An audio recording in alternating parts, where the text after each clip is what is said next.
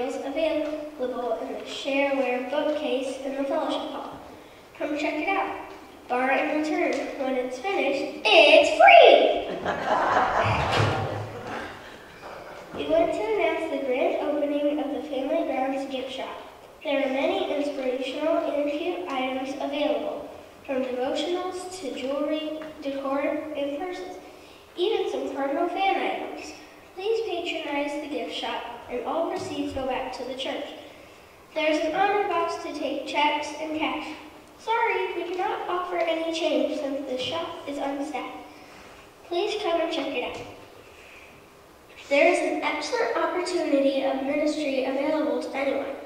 We need to fill our Sunday coffee ministry calendar with people required to make coffee and purchase donuts for the coffee shop at HUMC. Responsibilities would be to come early 40 minutes to be exact, not on seated tables where people like, can make coffees put in chairs and donuts set in our round corner table non-seated tables where people might want to sit and clean up afterward. If you want to have a Sunday or two, whatever, we would appreciate the effort. As of now, we have no sign-ups. This service is a great way to show hospitality. The registration is now open for our Heartland, Heartland Traveling VBS camp is coming through to HUMC June 14th through 18th, 2021. This camp is for kindergarten through sixth grade. We can take up to a maximum of 70 kids. Please see the bulletin website, your email, or our private Facebook group for more information on how to register your children.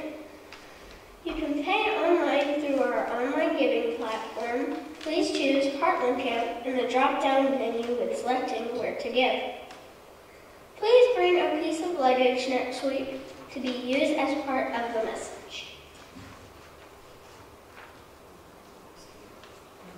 Now for our call to worship.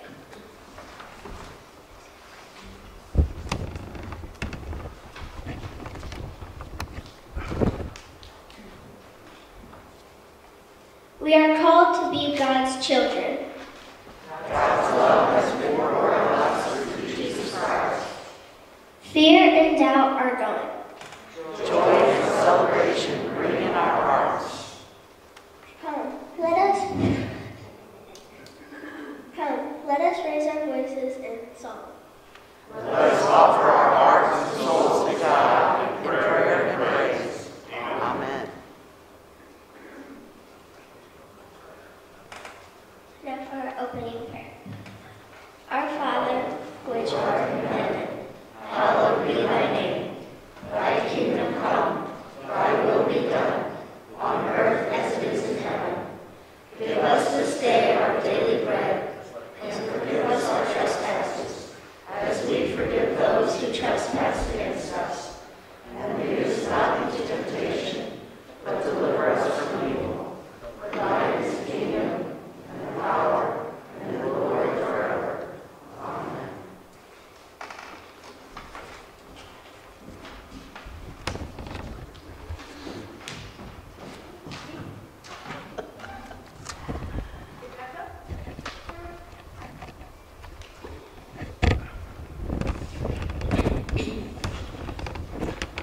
Good morning, Kingdom family. My name is Michelle, and I get the privilege of representing you in our community. These are difficult days. We are all searching for answers and asking God to show God's self during these times. If you notice, we have a lot of smart people involved in a variety of conversations. As a believer in Christ, I appreciate their input, but I don't know if the intelligence in and of itself will fix the issues we face. James 1, chapter 5 tells us, If any of you lacks wisdom, you should ask God, Who gives generously to all without finding fault, and it will be given to you. You may be asking why I'm mentioning this verse as we prepare to receive our morning offering. That verse is not about money. The reason is we serve a generous God who loves us and wants to meet us where we are. And where we are is we need his wisdom. We lack it, so we are asking. And this moment is a time to praise him because he wants to much give to give us the wisdom to deal with everything facing us right now. See, when you give, your resources are leveraged in our community so that we are a solution to those who are hurting. I hear it so often. Michelle, I don't even want to think about where our community would be without Hillsboro United Methodist Church. Whenever I hear that statement, I always tell that person about you. You You are the ones who make our community ministry happen. Your generosity in serving allow us to help the partnerships with our schools, feeding programs, Christmas baskets, and dinners. Your kindness is what makes serving the poor and under-resourced in our community possible in the first place. So I thank you for your consistent and faithful giving. I want to add a request today. I still want you to give extravagantly. It doesn't change people's lives. It does change people's lives. Let me correct that. But I also want you to pray for wisdom and ask God to give extravagantly to everyone in our community. Right now, we need it just as much. Thank you again. It is an honor to be your missionary and ambassador to our community. You are deeply loved and a solution to what our nation, state, county, and cities are facing. God bless. Let's pray. Lord, thank you that we live in the suspension of grace and that we are not under the old law of the spirit of death, but the new law of the spirit of life. But Lord, we feel called to give tithe to you because we love you, and we want to do this as a thank offering for the grace and love you have shown towards our kingdom community. Except we pray, this small token of our love and gratitude for loving us enough to give. Your life for us and die a cruel death on the cross that we may live, and for paying the debt we could not pay, and then clothing us in the righteousness of Christ and honor which we give you with all the glory. Thank you, Lord, for the amazing grace and steadfast love and mercy that you have poured out on us. You have done so much in abundance. Please help us never to become complacent or lukewarm toward you. You, but rather to live in personal awe and wonderment for the gift of life that you give, have given us as a gift of grace, and by our simple faith in Christ Jesus, in whose name we pray. Amen.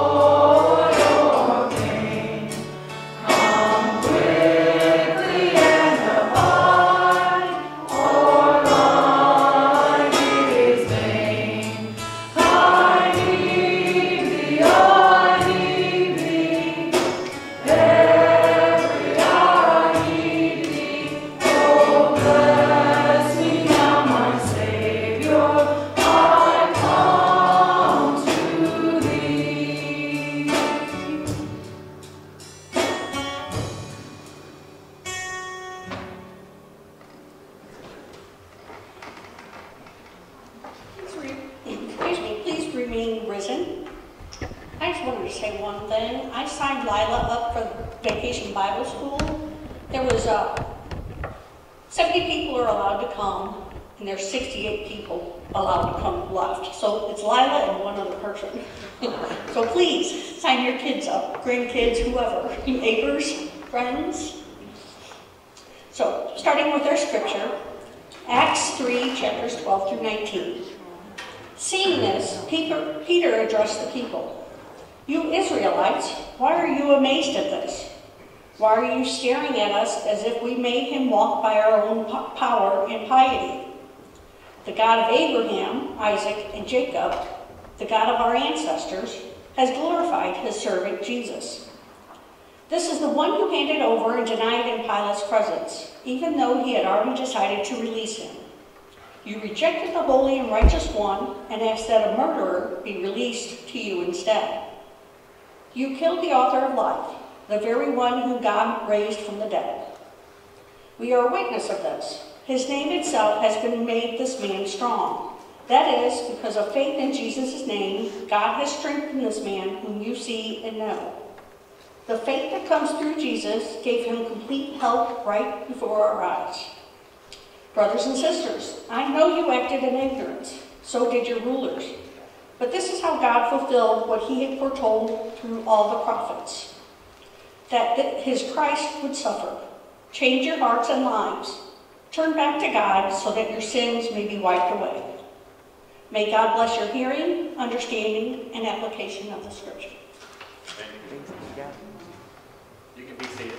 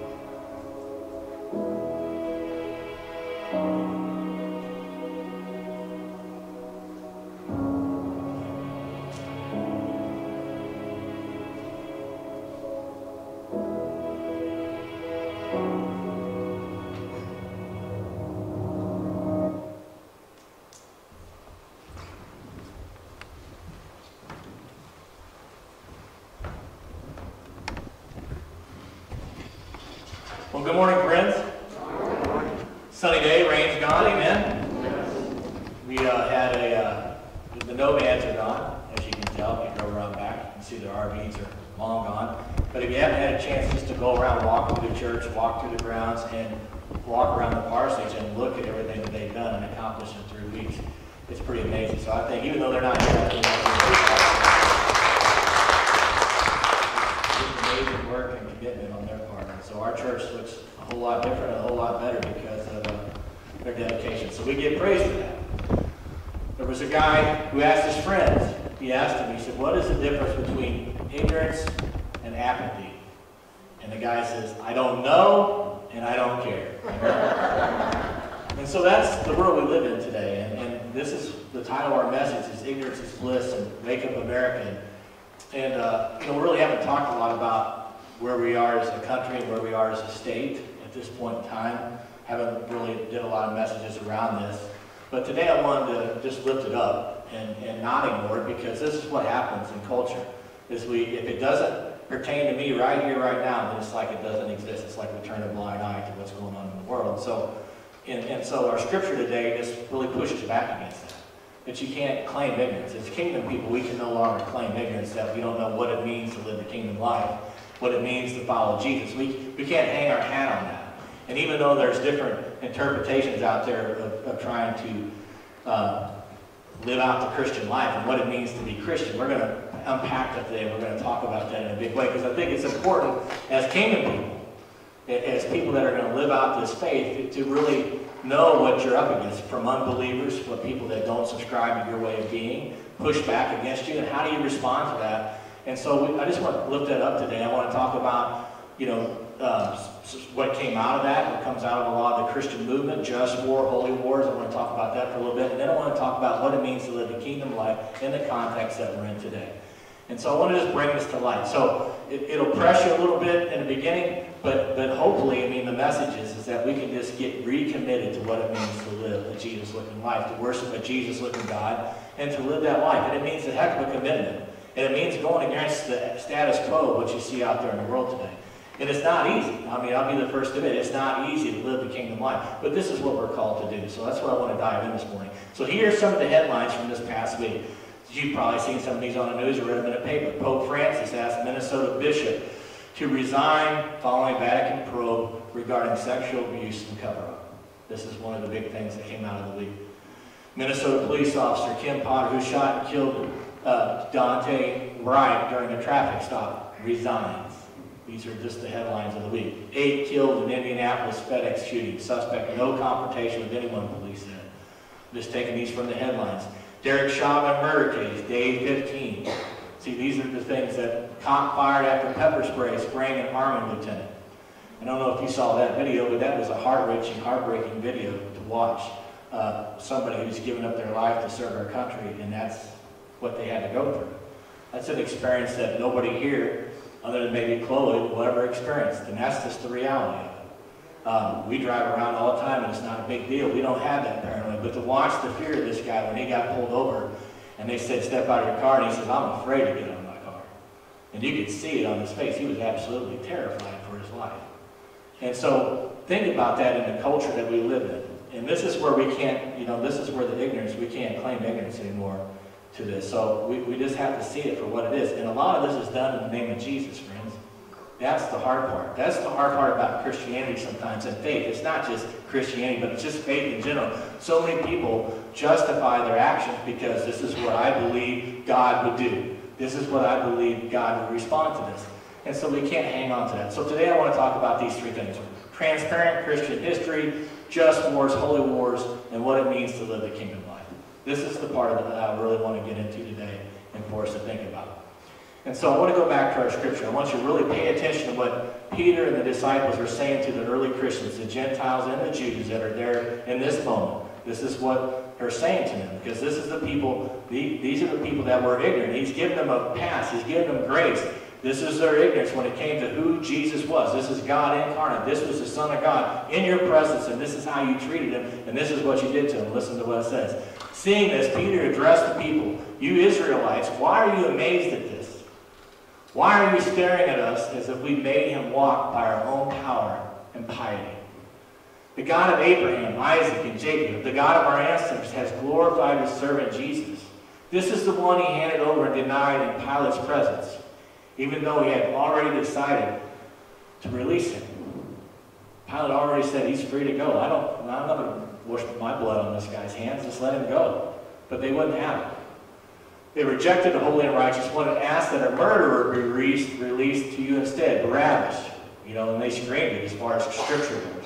You killed the author of life. Think about that. The very one whom God raised from the dead. You are witnesses of this. And so I think it's important to know that you are witnesses to this. You saw it for your own eyes. This isn't some secondhand story or third-party story. You witnessed it. You watched it, friends. This is why we can put so much faith in Scripture because there's eyewitness testimony to what happened. His name itself has been made the man strong. This guy, Peter, as he talks about. That is because of faith in Jesus' name, God has strengthened this man whom you see and know. The faith that comes through Jesus gave him complete health right before your eyes. You've seen this transformation in myself. You've seen who I was, what it was like before the cross and resurrection. You see what my life is today after the resurrection. There's no doubt about it. I can give all the glory to God. That's what he gives. Brothers or sisters, listen when he says, I know you acted in ignorance. So did your rulers. But this is how God fulfilled what he foretold all the prophets, that his Christ would suffer. Change your hearts and lives. Turn back to God so that your sins may be wiped away. That is the scripture in the heart of today's message as we go into it.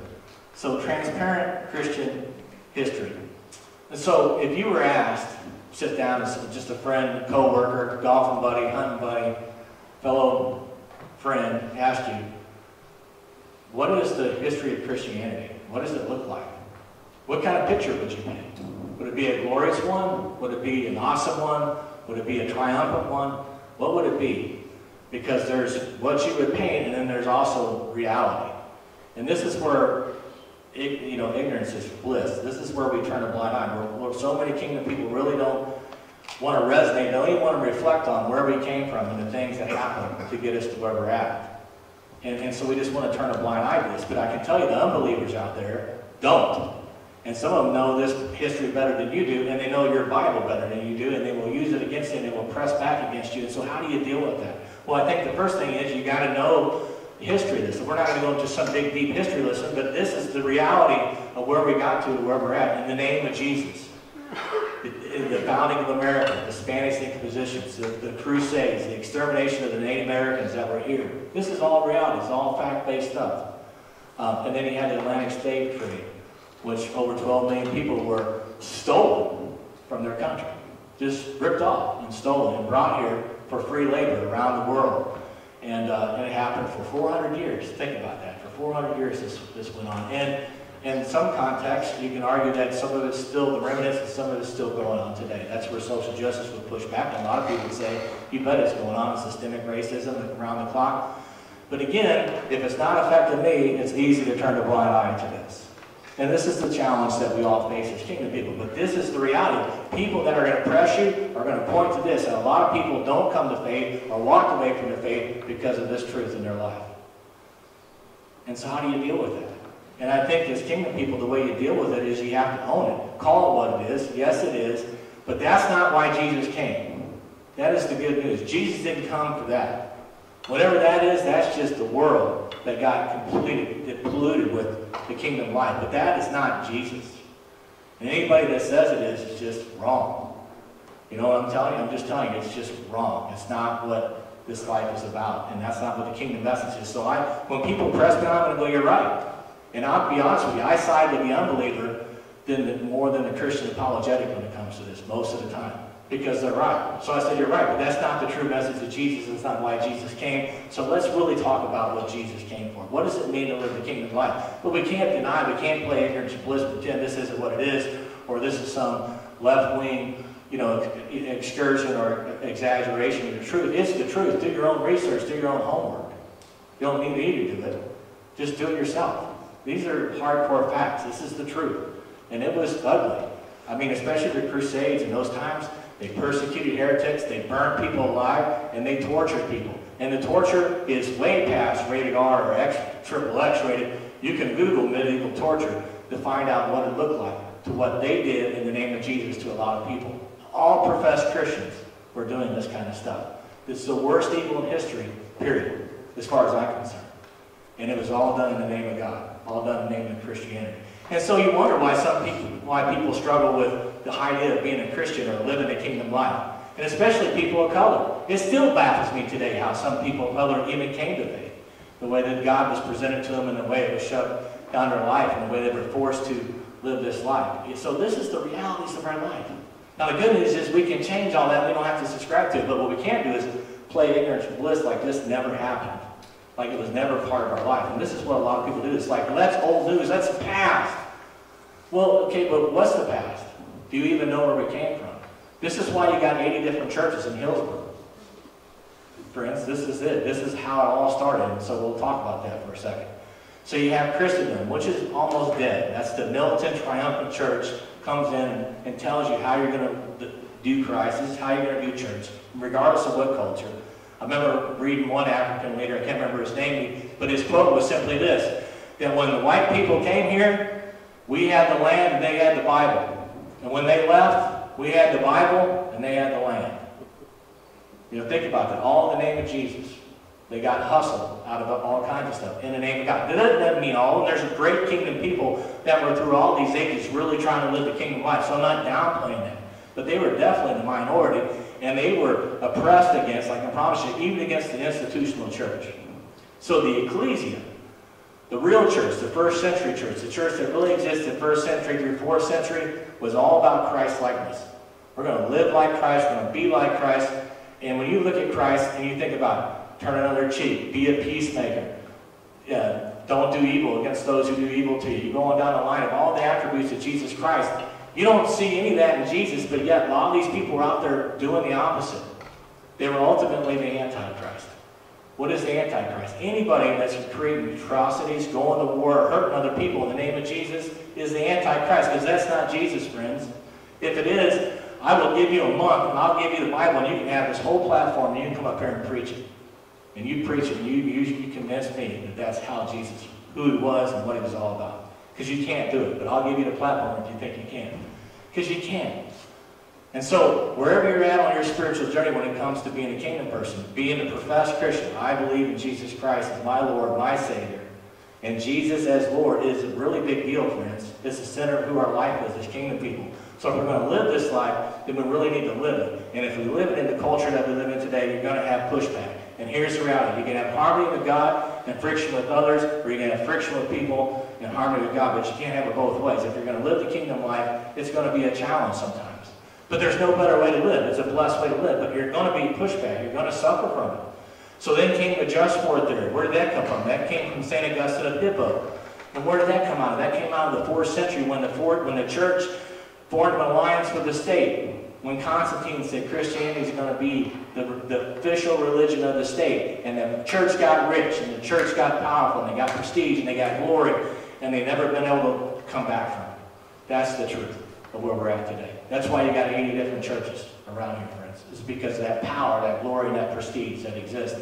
And it was given to. That was then this is what happened as a result, because they were in alliance with the, with the governments and the powers and the empire of the time, and the empire wanted to go do things, they come to the church and say, how can we do this? How can we have a just war? How can we have a holy war in the name of God? And this little outline right here, comparative justice, legitimate authority, right intention, probability of success, last resort, this was the litmus test. This was a test that had to go through to see if we were justified to go to be destructive to other people or take their land or fight back or press against. This is where it all came out of. And we don't have time to break into those, but that was the process, friends, for a just war, a holy war. And so we do this stuff still today, all over the place. And little bitty, there's little bitty remnants of it, and there's great big exposure. We're doing this in the name of God. God is behind us, God blesses this, and I'm telling you, in Scripture, you can't prove that. And so as kingdom people, what do you do with that when we live in a culture that just says we can do this and we can do it in the name of God? God's on our side. I, I just don't see it. You know, and this is, I had to wrestle and unpack all this stuff as a kingdom person. This is John Wesley, the founder of Wesleyan, as uh, Methodism. This is his original statement, reproach to all reason and humanity as it relates to war. That's quote number one. Quote number two, fighting war is forgetting God.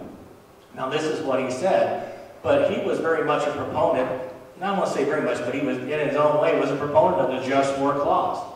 Even John Wesley was. And, and I don't think he would be today as time went on, as he matured, that he would be. And the Methodist Church totally took a different position on it. But, but that's where it came from. He was influenced by the culture and the times. That this is what it is. But I'm telling you, Jesus would push back hard on this.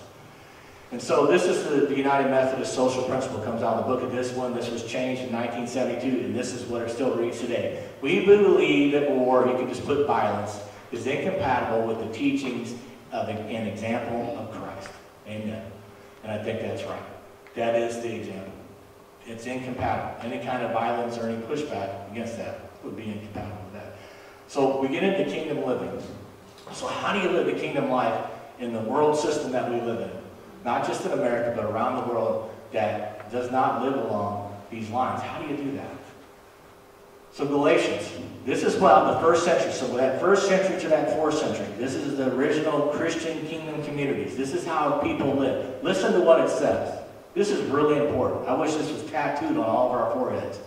For in Christ Jesus, you are all children of God through faith. We're all children of God. As many of you as were baptized in Christ have clothed yourself in Christ. Now listen to what it says. There is no longer Jew or Greek, or Jew or Gentile. There is no longer slave or free. There is no longer male or female. All of you are one in Jesus Christ. You're one person. You're one body. This was the message from the beginning. Why do we have 80 different churches within 10 miles of us, if that's true? And see, that's what we have to wrestle with. So how do we get back to this universal Catholic? I don't mean Catholic in the faith itself, but Catholic meaning universal. How do we get back to the universal church? To where we walk shoulder to shoulder with all the body of Christ doing the work in the kingdom. Because just think if all the churches got together. Seriously, if all the churches got together, we pulled our resources, our time, our talent, treasures together, what we could do in Jefferson County. It would blow your socks off. But you got Hillsboro down here trying to do their thing. You got Hillsboro Christian Church up there trying to do their thing. And you got the, the, the church next door, the Holy Living Word, trying to do their thing. And on down the road. And, then Hillsboro Baptist and the Latter-day Saints. And just go on down the line. All these churches trying to do a little bitty job. And they try to do it, and we do it as best we can. But man, if we were, could do it together, how powerful it would be. And just think if you took that to the world. Because just to Christians alone, if we just gave up 10% of what we offer, we could end world hunger like that.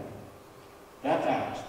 But this is the stuff that divided us. And Jesus was telling us from day one. Old Testament scripture, God speaking through the prophets, was telling us from day one, this is not kingdom living. And if you belong to Christ, then you're Abraham's offspring, heirs according to the promise. So if you're a person of Christ, regardless of your skin color, regardless of which side of the railroad tracks, regardless of where you went to high school, regardless of what zip code you live in, you're part of this body. But because of isms and because of phobias that exist in every one of us, that's just not the case. Again, we can turn and play ignorance, or we can say it's not so, but it's the truth. And so how you wrestle with that? And so these are all things as kingdom people we have to wrestle with. So there's just tons of scripture that point to this. Depart from evil and do good. Seek peace and pursue it. Psalm 34, 14. He shall judge between the nations. He shall arbitrate for many peoples. They shall beat their swords and plowshares, and their spears and pruning hooks. Nations shall not lift a sword against nation, neither shall they learn war anymore. Isaiah 2.4. This is the heartbeat of who God is. This is what he's trying to tell the people of the world at that time. This is my will for everyone. Something, one of those who was with Jesus, put his hand on his sword, drew it, and struck the slave, the high priest, in cutting off his ear. Matthew 26. Then Jesus said to him, listen to what Jesus said. Put your sword back in your place, for all who take the sword will perish by the sword. This is who we follow, friends. How do you get any kind of violence from that? But I say to you, do not resist any evildoer, but if an evildoer or anyone strikes you on the right cheek, turn the other also. I mean, that's hard. What does that even mean? And these are challenging verses. But I say to you, love your enemies and pray for those who persecute you. And if you're living a kingdom life, you're going to be persecuted, maybe even by your own family, definitely by the culture that we live in. You're going to be persecuted. They may not say it in front of you, but they're going to give you trouble behind your back, I can promise you. Blessed are the peacemakers, for they will be called children of God. So if you're a child of God, you are called to be a peacemaker. Period. There's no workaround with that. Peace I leave with you, my peace I give to you. Typically, in a typical Sunday service, right when we start, we would say, hey, let's have a peace offering. Let's welcome the neighbor, whatever. We stand up and we hug and slap, and now we just do holy high fives. You know, we just, that's all they can do because of COVID.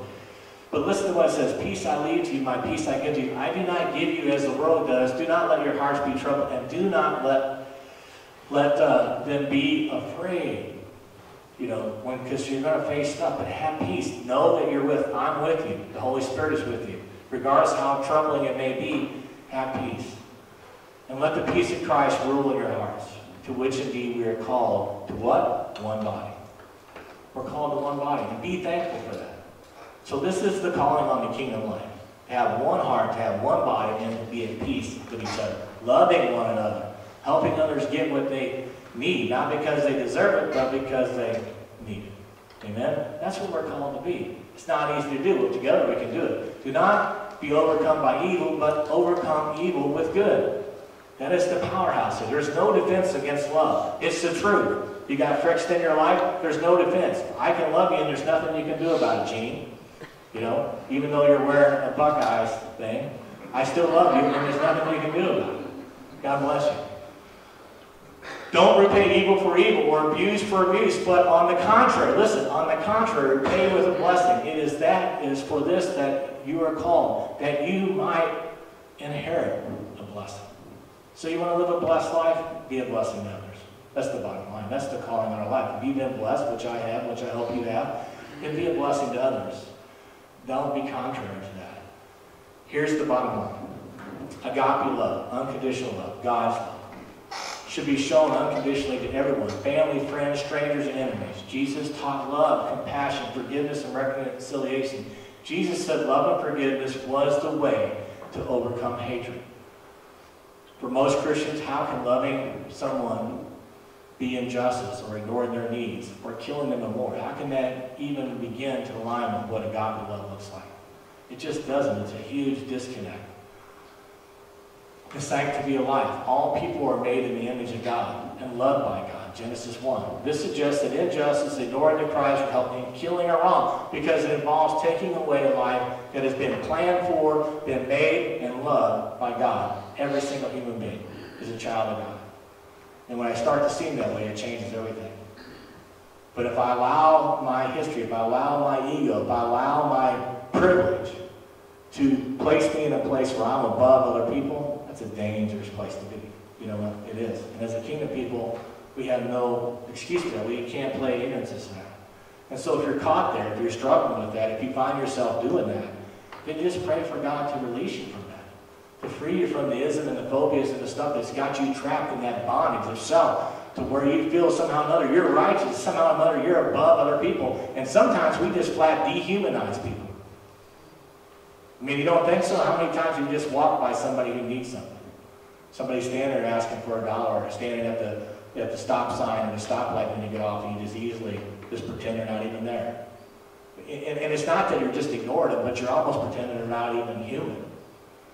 And that's hard to accept that in your heart but when you do that kind of stuff. But I had to be convicted of it many times, friends.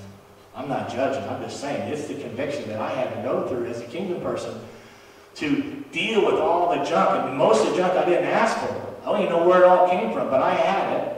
So how do we unpack it? This is the whole thing Jesus was trying. That's why he spent three years with these disciples, trying to teach them these lessons, to what it means to live the kingdom life.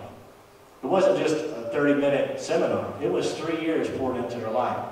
Of this is how you live the kingdom life. And in the beginning, for the first four decades, they, I mean, the first four centuries, they lived it out pretty, pretty solidly. But then we got in, we got in with the world. We got into the world system, and it corrupted everything. And so as kingdom people, it even starts as a small little cell, but we have to be divorced from the world system. Jesus said, you, don't be, you got to be in the world, but don't be of it. And so that's just a personal inventory of your own. How much of the world is in me? How much of the world controls everything I say and do and think and react and respond to life? Or is Scripture and the way Jesus lived his life the thing that's pulling my life? So that's the, that's the personal inventory. Only you can take it. I can't take that for you. I have to take my own inventory. But you have to take it, and then you have to own it. And if it doesn't align with the kingdom life, then I'm going to ask you to surrender to it, ask God to remove you from it, ask God to forgive you from it, and just try to live into this kingdom life. And for some people, that's going to be a huge 180. From the left to the right, or to the right to the left, or wherever you're at, to get in this kingdom life, which isn't a part of the world system. That's the revelation. It's not part of the world system. I'm just telling you, you cannot show it to me in Scripture where the good news lines up. If you want to find out where it really went on, go home and read Samuel, 1 Samuel 8. 1 Samuel 8 will tell you exactly where it all went south. When the people of the Old Testament said, Lord, we no longer want you to be Lord. We want you to give us an earthly king. That's what we want. We want an earthly king, just like every other nation. We want an earthly king. And what did he tell Samuel? Go tell them that if this is what they want, this is what's going to happen. And he outlines, outlines it in detail. This is exactly what's going to happen. They're going to take your children, they're going to take your money, they're going to put your people in war, and they're going to do these things to your people. Is that really what you want? And they said, we want an earthly king. So give them what they want. And that's what we've had ever since, friends. And that's and if you go back and read 1 Samuel 8 and apply it to 2021 in the world, it fits like a glove. Exactly how God said it would be. And so this is where we can trace these roots back in history to where all this stuff went south. So as kingdom people, our job is to make the Lord, yes, God, be the Lord of my life. Not the world system. Not the president, not the mayor, not the governor. I want Jesus to be the lordship of my life and help me live into that each and every day. And if we do that one day at a time as a kingdom community, we can start to make a dent. We might have to look back at long periods to see the progress, but we can make a dent, friends, I promise you. And lastly, it's this promise, and I'll ask everybody to rise, I'll ask the band to come back. This is our calling. This is our call to action as kingdom people, each and every one of us. Change your hearts and lives. Turn back to God so that your sins may be wiped away. That's what we're called to do. Amen. Each and every one of us. This is the kingdom calling in our life. And uh, we need each other to do that. God created us for relationship, friends. Um, in the handout is a connect card.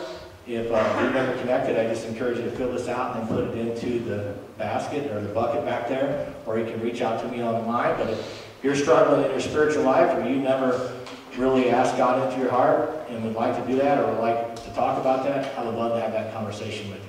And that's how you can do it. You can reach out to me or put it in, in the connection card. We'd love to do that. But with that, let's pray, friends. Lord, thank you for our message today. It's hard to look at human frailty. It's hard to look at history that was brutal and ugly, and it was done in your name. And none of us here can sit and say, if I were back in that period, I wouldn't have behaved that way. None of us are that grandiose to, to say that. All we can say is, Lord, we live in the now, the 21st century. And we know we're breaking, broken, and we know we're flawed, and we know that this kingdom life is not really too closely followed by a lot of people who claim to be your disciples.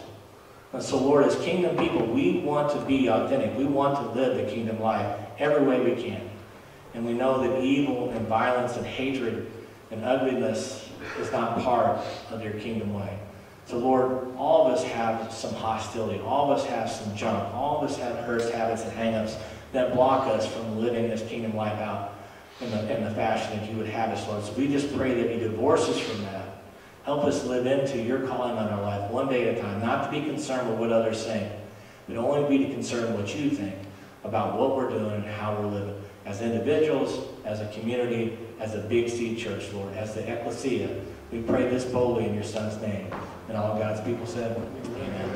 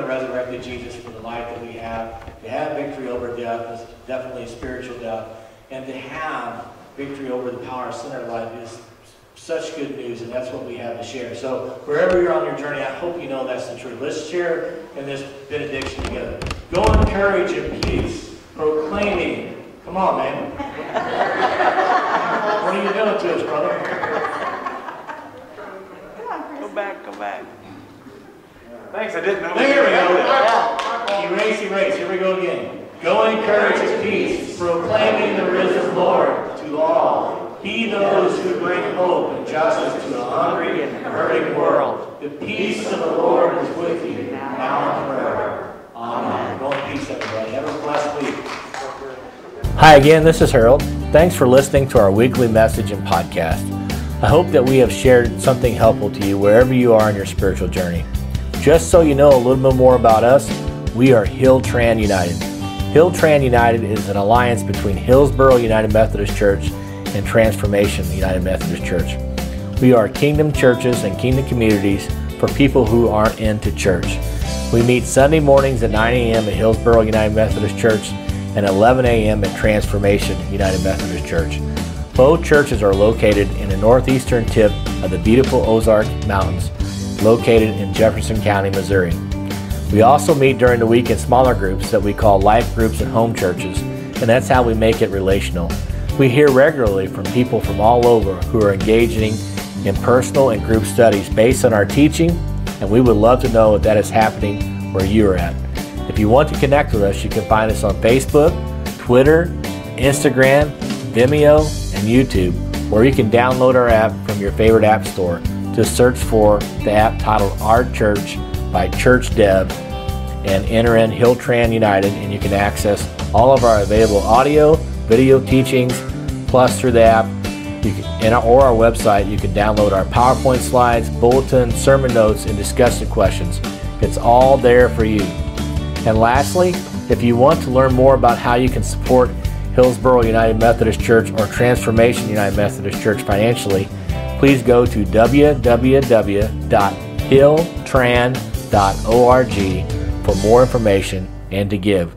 We appreciate anything you can do to help. Hey, thanks for being a member of this extended church family. I'm glad we are in this together as kingdom people, commencing shoulder to shoulder to help people rediscover life and experience the kingdom of God.